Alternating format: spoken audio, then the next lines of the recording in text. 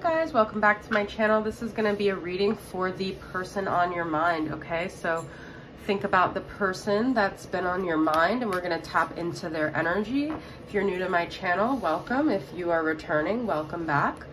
Please subscribe and comment and like if you enjoy the content. I appreciate you being here and sticking around.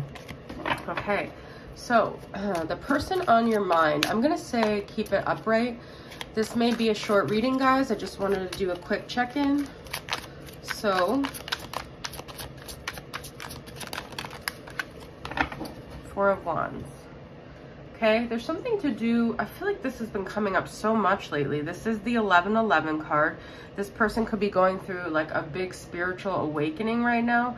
This could be your twin flame. This could be the person that you see yourself ultimately having union with. You could see this as your family, your sense of home, your sense of stability. But I also feel like this person is in the midst of trying to figure out like what their home is, what their stability is. So something in their, um, in their like home life is affecting them, okay?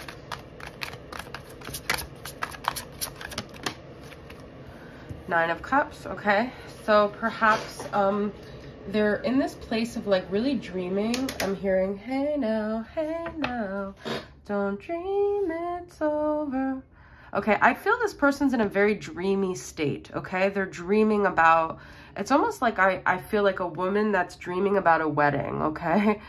Um, so it's like, but there's also a seductive energy here. It's like trying to control a situation in a sense. So this person's really working on like manipulating an outcome that is right for them. Okay. So what else do we need to know? Too many cards here. You see, there's something up their sleeve. I don't know. I feel like there might be even like a secretive energy with them. It's like they're trying to protect something that um, they're trying to manifest or something like that. Okay. Queen of Pentacles reversed. Ace of Wands reversed.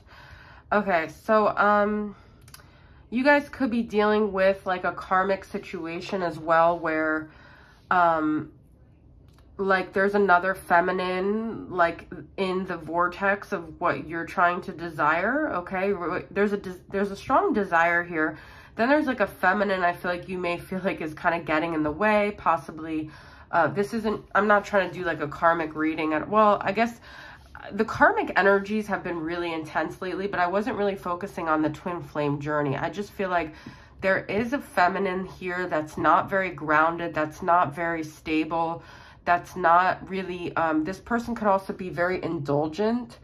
Um, I feel like this person has like really, this could even be like someone that has like really high standards, but to an imbalanced degree and it's like almost like they'll stop at nothing to get what they want. There's a controlling energy here and I do feel like that has been really big in the collective lately. There's someone who's really trying to control an outcome. All right.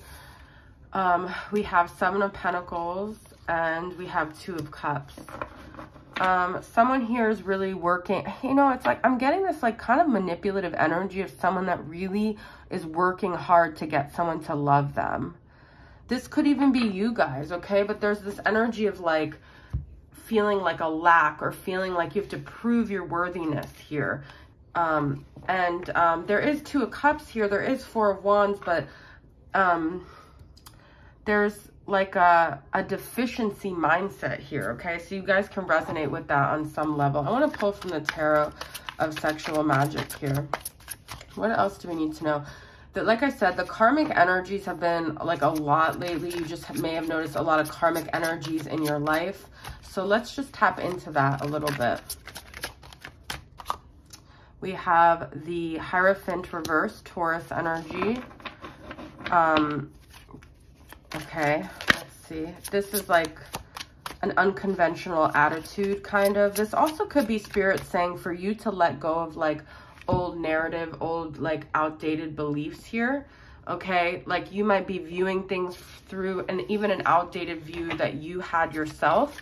And it's time to like break free from that because that mental narrative could be, you see with the devil, it could almost be like this, um, this like uh, codependency thing here, okay? And then you have Ace of Swords. Someone is not seeing clear, seeing things clearly either. I feel like there's definitely someone that has blinders on here.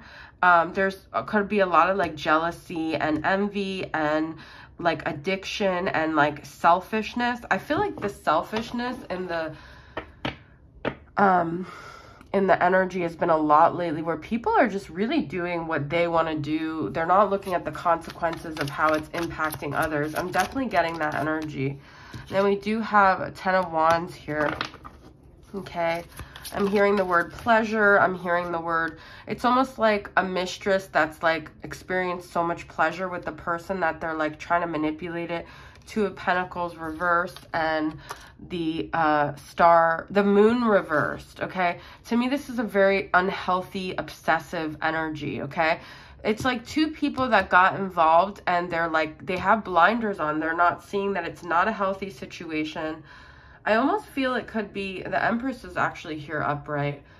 I do feel this Empress upright is almost like this divine spiritual, like almost like the good witch in in um, Wizard of Oz who's trying to come in and spread the light because there's a lot of darkness right now. But people are so blinded by their obsessions, their desires, their they're not uh, people aren't really watching their side of the street and they're creating bad karma for themselves by just blindly following their desires here okay? Could be pisces cancer energy doesn't have to be. Um, and then we have interesting the world reversed here. Yeah people are definitely creating karma and they're creating this